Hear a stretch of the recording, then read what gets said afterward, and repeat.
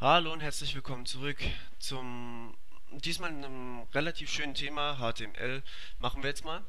Ähm, ja, und ihr seht, ich habe hier schon wieder mal was vorbereitet.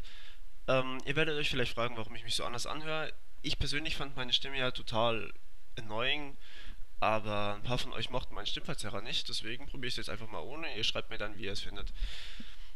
Ähm, ja, also wir fangen mit HTML an. Ähm, ja, zuerst mal, wie ist HTML aufgebaut? Äh, ihr seht, ich habe hier ein Programm, das nennt sich Notepad++, schreibt man so. Und äh, das findet ihr kostenlos bei Google. Äh, beziehungsweise nicht bei Google, aber ihr könnt es mal googeln und könnt es dann runterladen. Ähm, ja. Ihr müsst dann eure Datei irgendwie hier Datei speichern unter und irgendwas, also irgendein Dateiname, .html am Schluss. Das ist ganz wichtig, sonst kann der Browser nicht interpretieren. Hm, ja, das ist eine von den Voraussetzungen. Erstmal das Grundlegende, jetzt habt ihr mal überhaupt das Dokument. Und dann könnt ihr anfangen auch schon. Das ist echt nett. Mit dem Doctype ganz oben.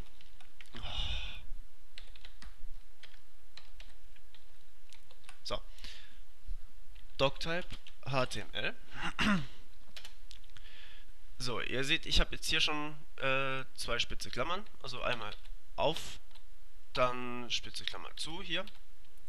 Und so ein Konstrukt nennt sich ein Tag. Das ist jetzt kein richtiger Tag, weil es hier noch ein Ausrufezeichen hat. Das muss einfach überall oben auf der Webseite stehen. Das werdet ihr auch eigentlich überall finden. Außer es ist älteres HTML, dann sieht es ein bisschen anders aus. Aber Doctype steht eigentlich immer da.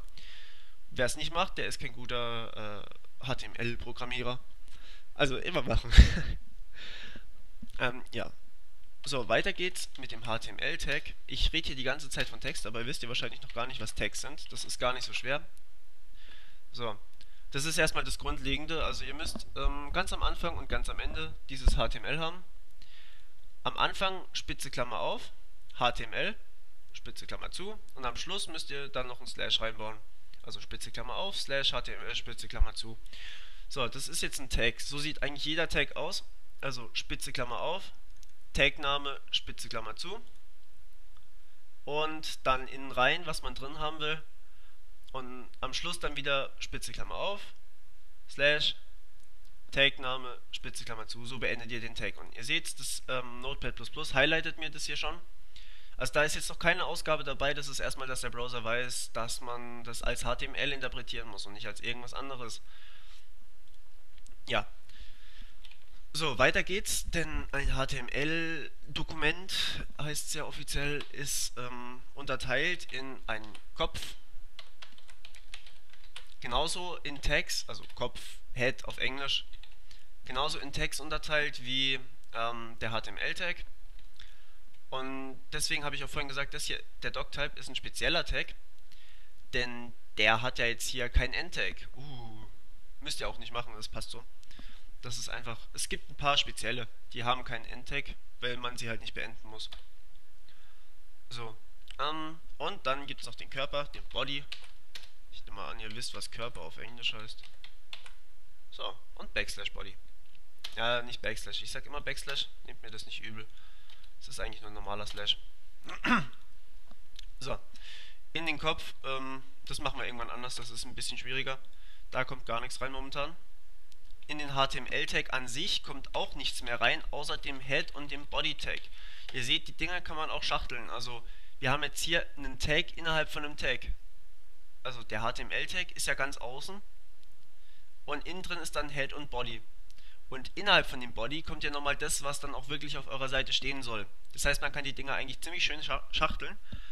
Ähm, Manche Dinger kann man nicht schachteln, das werdet ihr dann merken. Es macht aber auch eigentlich keinen Sinn, Überschrift äh, in einer Überschrift zu haben. So ein Spaß zum Beispiel, macht überhaupt keinen Sinn. Ja, apropos Überschriften, fangen wir doch gleich mal mit der an. H für Headline wahrscheinlich. Ich weiß es gar nicht genau.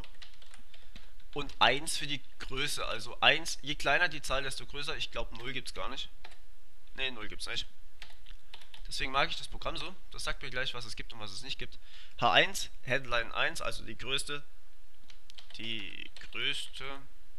Ö wird er wahrscheinlich nicht interpretieren können. Das muss man eigentlich maskieren. Ähm, kann man nachher einen Filter drüber laufen lassen, der macht das automatisch. Die größte Überschrift Ü wird auch nicht gehen. Ach, das war das Falsche. Jetzt hier. Ich habe es schon mal aufgemacht. Ähm, ja. Die Graüte über, äh, Überschrift. Ja, genau. Nicht so toll. Machen wir irgendwann anders noch. Ich will euch jetzt bloß mal zeigen, wie Tags funktionieren. Schreiben wir da vielleicht OE. Ach ja, scharf, das kennt er ja auch nicht. UE, so. Dann machen wir H2. Die, die gut aufgepasst haben unter euch, wissen jetzt, erstmal kommt ein Slash, dann kommt wieder Backslash H2, äh, normal Slash H2. So, und innerhalb kommt jetzt die zweitgrößte Überschrift. Haha, diesmal schreibe ich Headline. Da ist nämlich kein Ü drin. Und so weiter. Das geht bis H6. Also H3 ist dann kleiner als H2, H4 ist kleiner als H3 und so weiter. Und H6 ist fast kleiner wie der normale Text, was dann eigentlich keine Headline mehr ist, aber das macht ja nichts. Abwechslung, darauf, darauf kommt es an. Also H6, die kleinste Headline. So, wenn ich mich jetzt nicht verschreiben würde ständig, kann ich euch das mal zeigen, wie das aussieht. So, also das ist H1, das ist H2, ihr seht, da ist schon ziemlich äh, ziemlicher Größenunterschied dazwischen. Und das kleine Teil hier ist H6. Und jetzt zeige ich euch noch, wie der normale Paragraph aussieht. das ist nämlich das, was man normalerweise nimmt, der ist, glaube ich, größer. Ähm, ein normaler Paragraph. P für Paragraph und Backslash P beendet den Tag wieder, ganz normal. Hier genauso H6 beendet, also back, hm, Slash H6 beendet dieses H6 hier vorne. Und ja, also eigentlich nichts Besonderes. Ja, ein normaler Paragraph, der größer ist als unsere Headline. Tja, macht nichts. So. Ähm, damit kennt ihr eigentlich schon die grundlegenden Tags. Das ist eigentlich das, womit man äh, schreibt. Da kommen natürlich noch ganz viele andere Sachen dazu, das mache ich dann in den nächsten paar Videos. Aber jetzt nochmal ein paar grundlegende Sachen. Also ihr speichert die Datei als .html, wie der Dateiname ist, ist mir wurscht. Nur hinten muss .html stehen. Ihr packt am Anfang für HTML5, das waren jetzt noch keine HTML5-Tags, aber die kommen noch. Und die sind toll, glaub mir. Also oben Spitze Klammer auf, Ausrufezeichen, Doctype, groß geschrieben, klein HTML mit einem Leerzeichen dazwischen. Ich denke, ihr könnt selber lesen. Und Spitze Klammer zu. Der HTML-Tag kommt ganz außenrum. Der Head-Tag kommt am Anfang. Unter den HTML-Tag. Und unten drunter kommt der Body-Tag. Und in den Body-Tag rein kommt das, was ihr auf der Webseite schreiben wollt. So, ein Tag ist so aufgebaut. Spitze Klammer auf.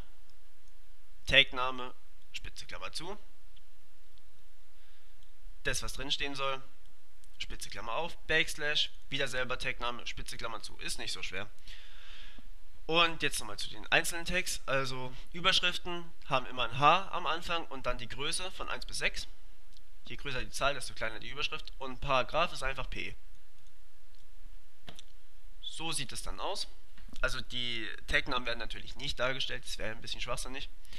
Und ihr fragt euch jetzt garantiert, warum sieht das so langweilig aus? Das ist bloß weiß, das ist bloß äh, schwarze Schrift, nicht mal eine andere Schriftart, keine Schriftgröße, die man direkt einstellen kann. Das kommt alles in CSS, das machen wir nach HTML. Ähm, damit kann man dann alles schön einstellen, die Sachen verrutschen und viel Spaß haben. Oder auch nicht, je nachdem welchen Browser man nimmt. Wenn Internet Explorer, dann wird es eklig. Ja. Ähm, also, das war's dann für dieses Mal schon und ich wünsche euch ganz viel Spaß bei dem nächsten Video, das auch bald kommt. Bis dann, ciao.